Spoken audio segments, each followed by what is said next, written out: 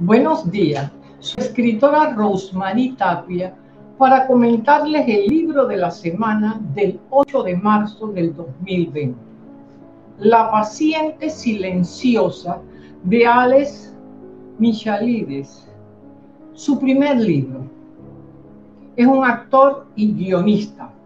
Esta fue su novela debut, primer lugar en el New York Times y en Amazon el segundo lugar. Es una novela de suspenso, lo que llaman el thriller psicológico, pero con matices de novela negra. Una novela que lo atrapa desde el inicio con giros inesperados que hacen la lectura de este libro de corrido, sin suspender. Los personajes están muy bien estructurados. La pintora, el terapeuta, en fin, todos los personajes contribuyen a una trama interesante. El escenario geográfico, Inglaterra. Alicia Berenson es una pintora de éxito. La acusan de disparar cinco tiros en la cabeza de su esposo.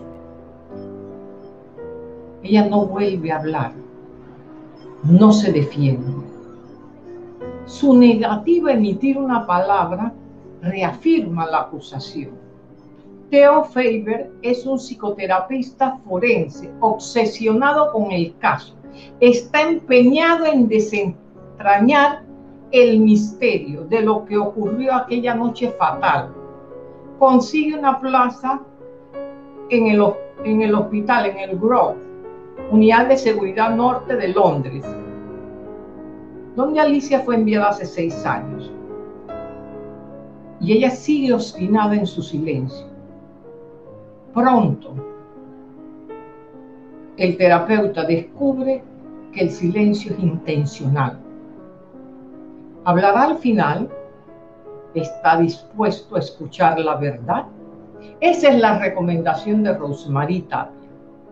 La paciente silenciosa y jóvenes a leer a leer incansablemente, como si la vida y el éxito dependieran de eso, porque depende. Gracias.